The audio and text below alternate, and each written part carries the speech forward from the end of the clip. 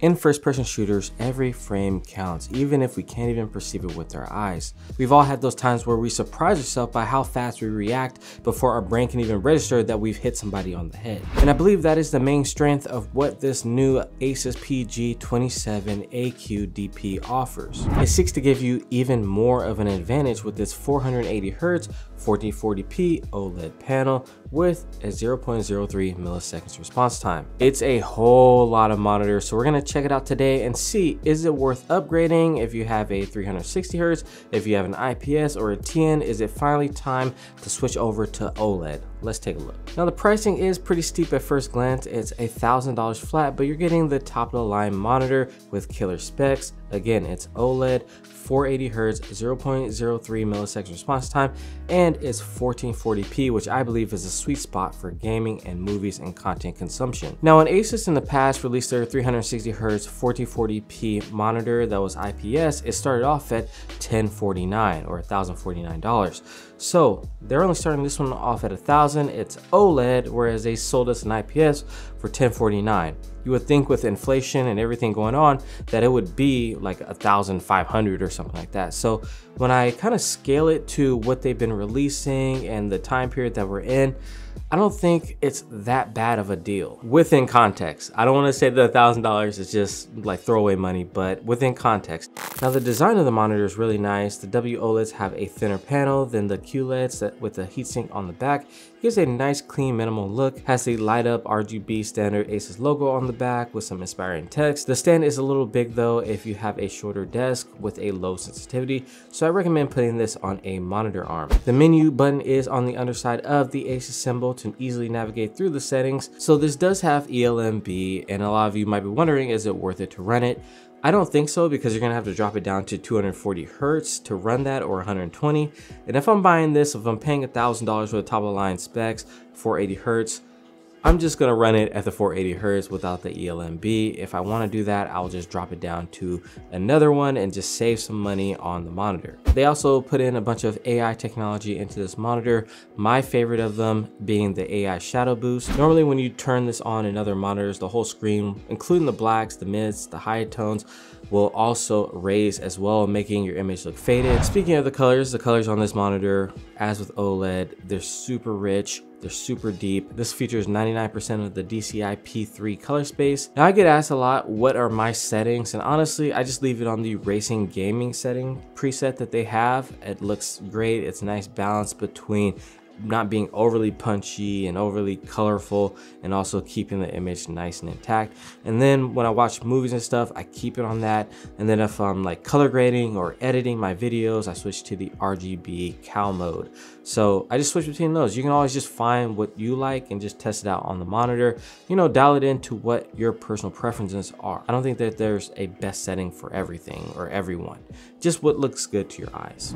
One feature I really miss whenever I switch off an Asus monitor is the ability to control the aspect ratio. Being able to switch this from a 27 mode and shrink it down into a 24 inch light experience. It's an amazing feature. Now we've seen the dual mode like on other 32 inch modes.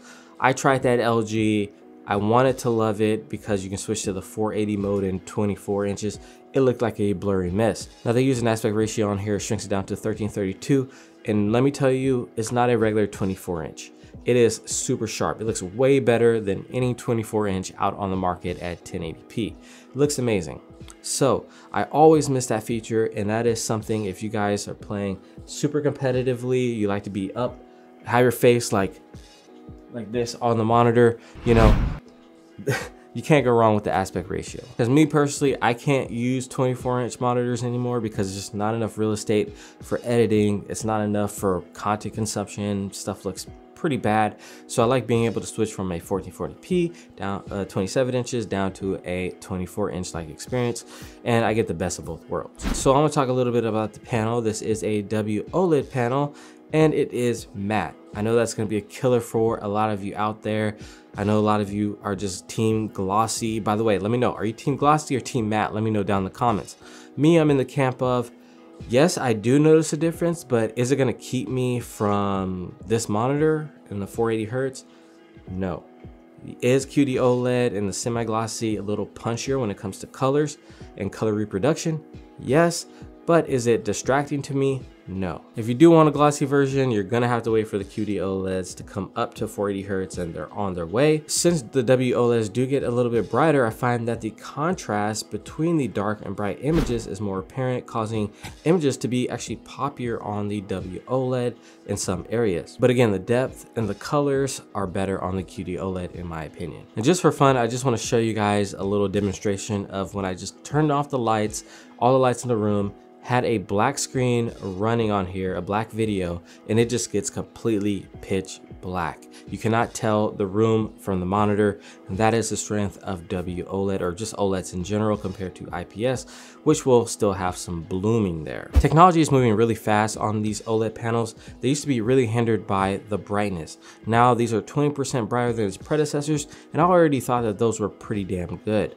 Now it's just even better and I don't find myself wanting for more brightness. For comparison, their old flagship from Asus, the PG27AQN only went up to 400 nits. This is 450 nits. So they fixed that issue. In HDR, this goes up to 1300 nits now.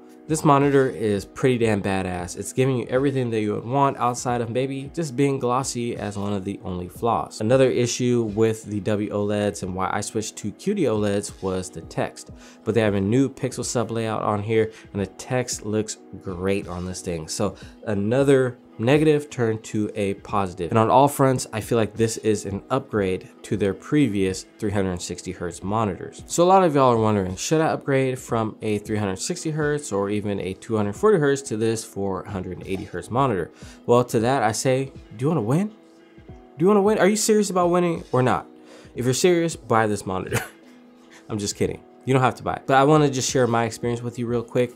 I did try a 480 hertz IPS monitor before and I wasn't impressed.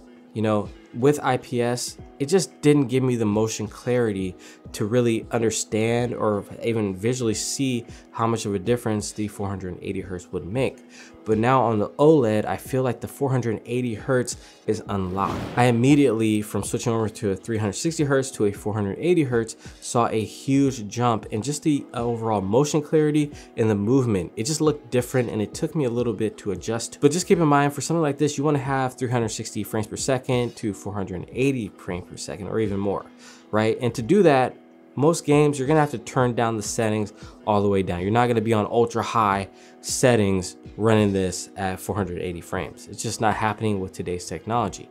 So in Valorant, I already have all my settings all the way down. So for me, it did make a difference. So if you're not gonna do that, if you wanna run at high settings, I would probably just skip this monitor, go 360 Hertz for now. If you've been on an IPS monitor or 360 hertz IPS monitor and you go to something like this, you're definitely gonna tell the difference. Or even a 240 hertz IPS or TN, you're gonna see a difference here. It's gonna look fantastic. Forget the tech specs, forget all the jargon. This monitor is straight up eye candy. So that being said, I wanna tell you who should be upgrading to this monitor and who shouldn't. If you have a 360 hertz OLED, yes, I can see a difference, but I don't think it's worth spending another $1,000. So unless you just have to have the fastest monitor out, I would just pass. If you're on a 240 hertz OLED or a 360 hertz IPS, I would definitely consider upgrading if you've been running them for a while now. The advancements in OLEDs have been substantial since those original 240Hz OLEDs came out, and if you've been on an IPS, you'll appreciate the rich colors and blacks that this monitor adds to your gaming experience. This is also going to be for the person that enjoys first-person shooter games, that goes without saying, Valorant, Apex, Call of Duty, Halo, and even that new game Deadlock would be amazing with a monitor like this. And again, you got to turn those settings down to get the full benefit of this monitor, but those fast-paced games can really take advantage of the extra hertz. If you're playing like Black Myth Wukong, if you're playing things like racing games, I don't think that you need this much of a monitor. I think you can just go with a 360 Hz or even a 240 Hz monitor. Or even just bump up to a 32 inch 4K monitor. Those games are gonna look fantastic. This is a very niche product and I think it's for first person shooters only. And if you do wanna play those type of games and you wanna take a break from first person shooters, yeah, you have the OLED panel, it's gonna look great but your first priority should be those first person shooter games. It's crazy fast, has great colors, and with minimal flaws. I mean, you could say that the matte finish is a flaw, but I don't think so, as most people that play first person shooters don't even really care about how their image looks, just that the monitor is fast.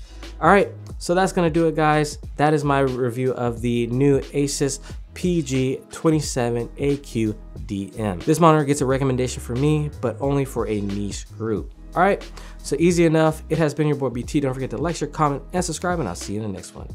Peace.